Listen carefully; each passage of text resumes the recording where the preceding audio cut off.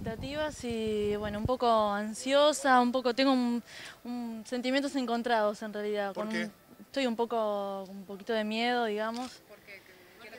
Y no es fácil estar acá, o sea, estoy en el territorio de Wilson, como, como quien dice, no, no estoy en Argentina, así que bueno, es todo nuevo para mí, todo, qué sé yo, todo, te tengo... ¿Qué crees que puede llegar a pasar al estar, como tú dices, en el territorio de Antonini Wilson? No, tengo, tengo un poco de miedo realmente a nivel personal, porque bueno, si tuve amenazas de muerte en Argentina, es como que acá me da muchísimo más miedo, entonces es más que nada eso. Pero ¿Sos bueno, consciente vez, que tu testimonio es importante porque de tu testimonio en parte depende que la defensa desacredite a Antonini Wilson? sí, soy consciente. Eh, por el momento no voy a hablar eh, nada específico sobre lo que es mi declaración. Eh, simplemente, bueno, lo, lo único que me, me hace venir tranquila y mantenerme tranquila dentro de todo es que, bueno, vengo a contar mi verdad nada más. Eh, y esos pocos minutos que, que yo viví con, con Wilson en esta situación. Pero bueno, todo vere- veremos qué pasa. Realmente acá estoy, veremos. Vos decís que recibiste amenazas. ¿Crees que Antonini Wilson tuvo algo que ver con esas amenazas o de dónde pudieron haber provenido?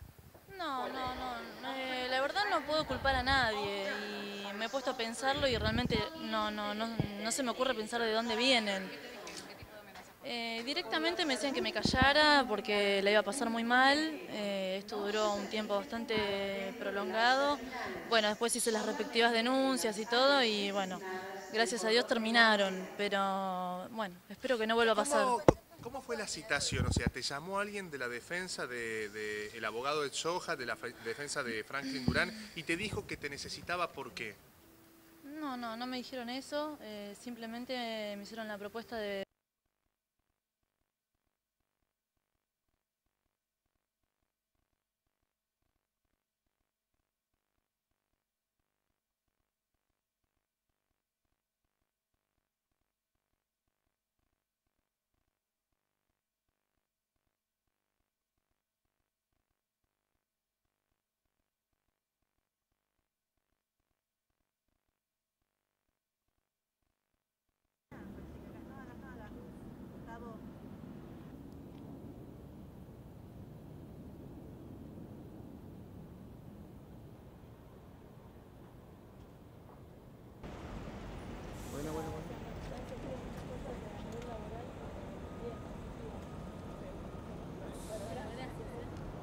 Alerucán. Sí.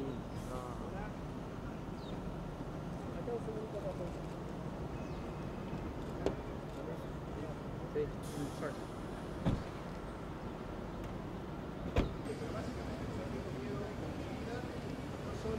la Argentina, sino también aquí en los Estados Unidos. Así que creo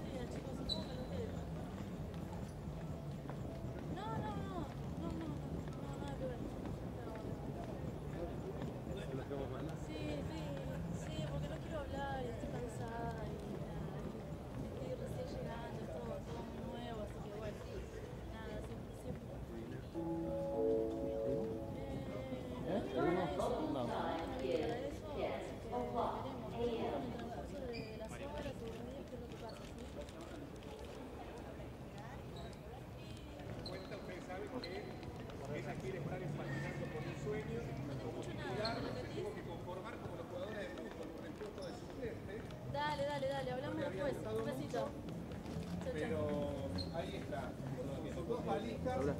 que se las abrieron, se las revisaron. Un par de paquetes y un bolsito color rosa. Chao. La ilusión de conocer María Sí, sí, totalmente. de María del Luján del Puc se demoró porque estuvo con los agentes del FBI que le estuvieron esperando muy temprano. ¿De bolita está apagado el micrófono? Apágalo, apágalo. Sí. Nerviosa su primera vez aquí en Miami, lo dijo, tuvo que hacer toda una No, no voy a hablar, chicos, del tema, no voy a hablar, de verdad.